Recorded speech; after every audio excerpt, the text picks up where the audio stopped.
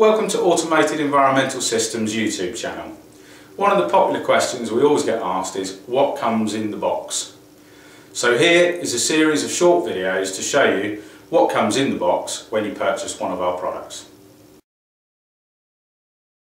Here we have an FCP 1100S. This particular shape of pump covers the 1.5, 2 and 3 horsepower pumps in the HydroPro pool pump range. This is the wet end.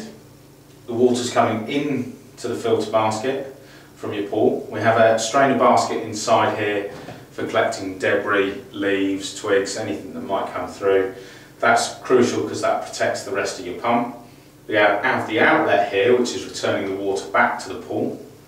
This is the motor side, control unit which is controlling the motor, 1.5 metre flex with a 3 pin UK plug. Then we have some accessories that come with it. We already have the O-ring which is situated on the pump. Important that the O-ring must be put onto the pump first, otherwise if it's put into the lid it doesn't locate properly.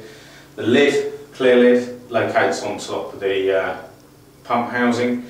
The closure ring then screws round to tighten that down against the pump. Also included is a, a ring which uh, slots onto the closure ring and allows you to finally tighten up the pump. Then we have the union couplers for the inlet and the outlet. We have both 63mm and imperial adapters which are included in the box so that you can work with either 2 inch or 63mm pipe. And also included is the instruction manual which shows you the installation guidelines and any maintenance that you might have to do. Thank you for watching and if you would like to purchase this product please visit our website on www.drain-systems.co.uk. Thanks very much.